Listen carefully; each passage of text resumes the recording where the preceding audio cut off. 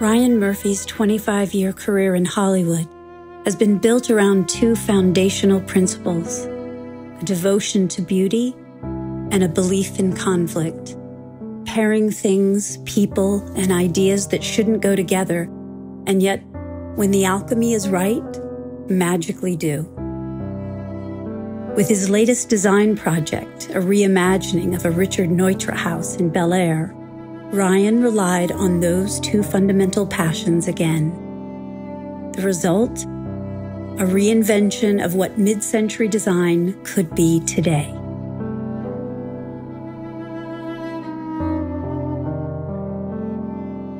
Built by Neutra in 1955 for the Brown family, a doctor and his wife who loved to entertain, the Brown House invites guests in via an entry ramp framed by towering cantilevered bars.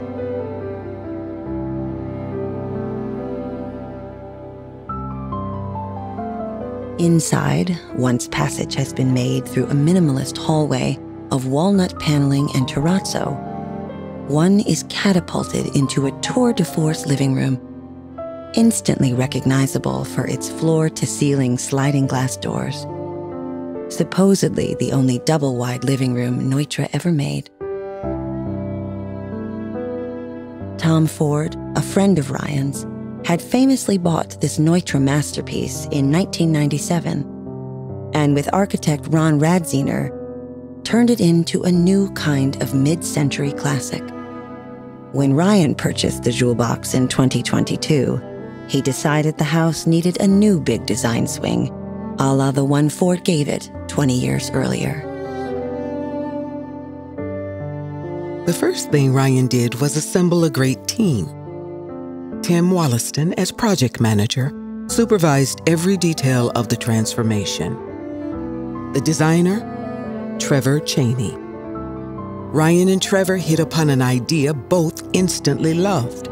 Instead of a devotion to one mid century style that had long gone out of fashion, why not invite objects and furniture in from other time periods? Making the house a tribute to the best of design from the past 500 years was both challenging and exciting. And yes, modern. But there was another rule the art had to be predominantly contemporary. And Ryan wanted some showstopper furniture pieces. Rick Owens and Michelle Lamy were the first artisans Ryan courted. They began making the centerpiece of the house, a monolithic gray alabaster dining table. Ryan has discovered that the only thing that truly interests him in a space is when things are in conflict. It's the same in storytelling born of discord, an evocative conversation is made. A Rick Owens stainless aluminum table from 2018, adorned with platinum Viennese secession candlesticks, for example, is highly unusual when placed near a Biedermeier table besides a Jeff Koons gazing ball masterpiece from 2015. Yet both examples showcase the best boundary pushing art and design of their times.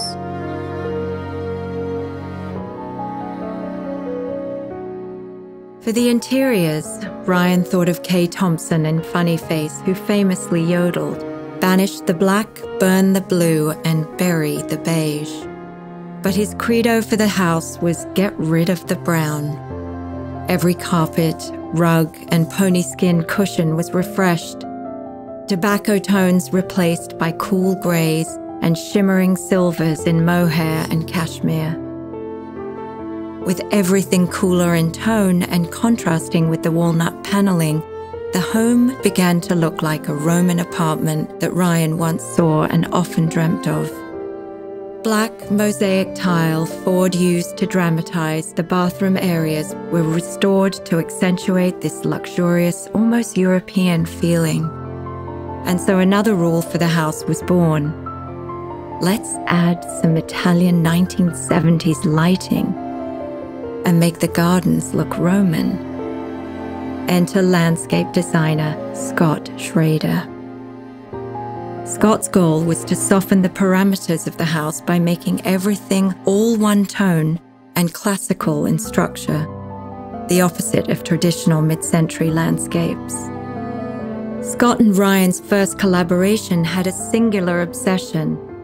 The dining room has a rectangular window that looks like a still life painting, waiting, wanting to come to life. Scott found an early 19th century Italian sculpture of Cupid, and once it was paired with boxwood forms, the window painting they had imagined appeared. The transformation of the Horizon Garden was just as disciplined and out of time. The idea was to float an urn fountain from 1650 in the center of the space and surround it with concrete benches from Belgium. A fake lawn was replaced by a creamy gravel Neutra himself was fond of Del Rio.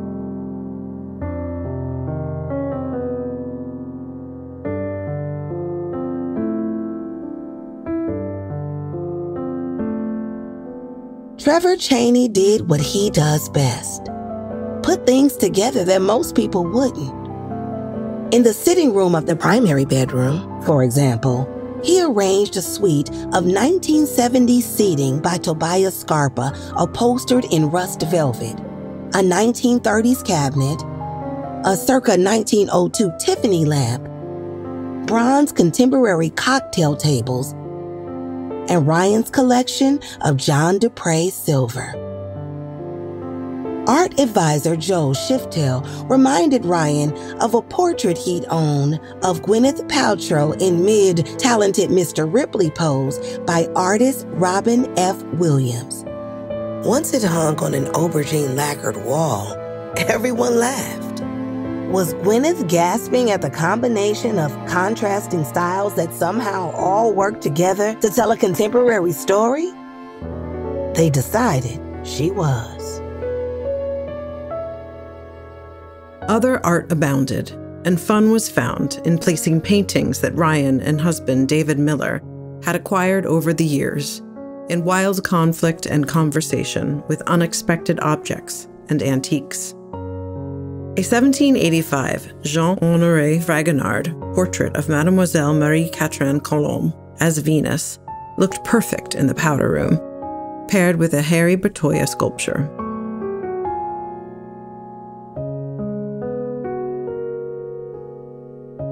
In the primary treehouse bedroom, nestled under a massive oak, a Lisa Yuskavage seduction tableau finally found a home above a deco daybed, where the lovers in the painting could seemingly plop down for an inevitable tryst. In the den, Jamie Wyeth's Emperor of Chickens, where a young gentleman farmer referees a cockfight, is made even more whimsical by the placement of a 1980s Norwegian armchair in a strange pretzel shape. And in the kitchen, dining chairs by Donald Judd are paired with a 19th century garden table, and above them, fittingly, an 80s Andy Warhol tribute to the power of symbolism. This kitchen, known as the Coffee Clatch, is connected to a chef's kitchen below and is united by a one of a kind restored dumbwaiter, its own work of odd art. Other strange bedfellows flourish. In the home office, guarded by a Saint Sebastian by Nicholas Party, a 1974 monumental Nakashima desk made for Governor and Mrs. Rockefeller glows Ligurian when paired with a 1984 Joe Goode cloud painting and a sculptural figure from Mark Ryden's Meat Show series.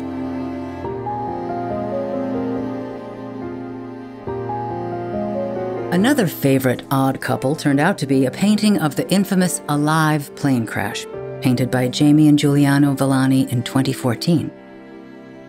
And in front of it, a German circa 1820 jewelry box, held aloft by Atlas.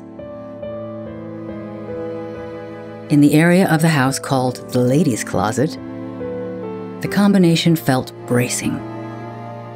Suddenly, the estate was developing a sense of whimsy and humor.